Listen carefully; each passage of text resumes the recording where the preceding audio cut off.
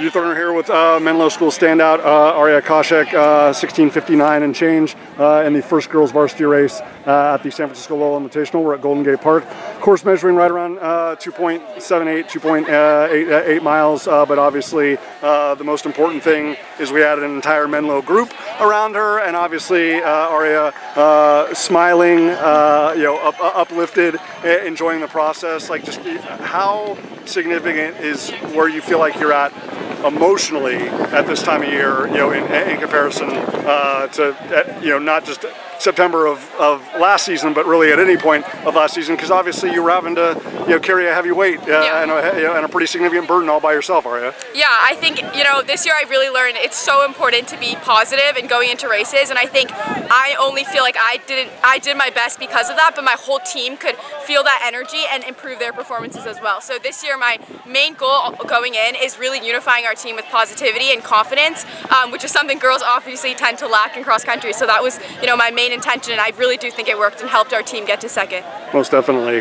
In, uh, in, in, terms of you know, George really kind of wanting to, uh, to tick off every box. Obviously, this is more of a strength course. You know, in a couple of weeks, you know, Woodbridge, you know, on a Friday night under the lights will be, you know, speed and, right. uh, you know, and just, you know, uh, electricity and a great environment. You know, just kind of making sure that the group is, uh, is you know, aware and, and familiar of, of every scenario, you know, yeah. every, every, every, challenge, you know, hills, flat, tangents, undulations, you know, sharp corners or whatever, as you get ready for Crystal in the postseason, as you, as you get ready for Woodward Park and whatnot. Like how, you know, I mean, you've, you've seen it before, but, yeah. for, but for the other ones that maybe aren't as familiar with it, with that setting up, like how, how valuable is it that, that not only Ariya Kaushek, but the whole Menlo group, girls and guys, uh, you know, uh, there's, there's no surprises by the time we get to November.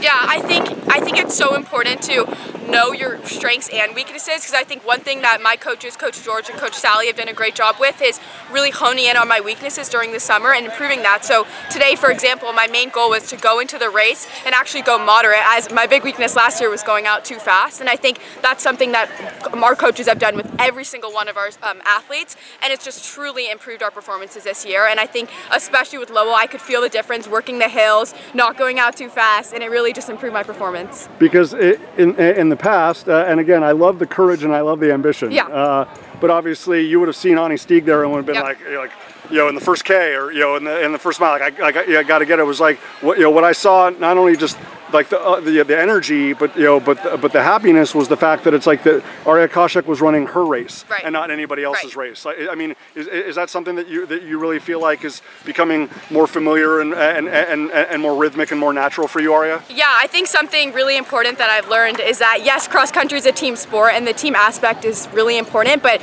knowing yourself and knowing how you run is also just as important. So I think today going to the race, I knew what my biggest fears were. I knew what I needed to work on and I really just focused on that and tried to just block everyone out and focus on my race and my goal.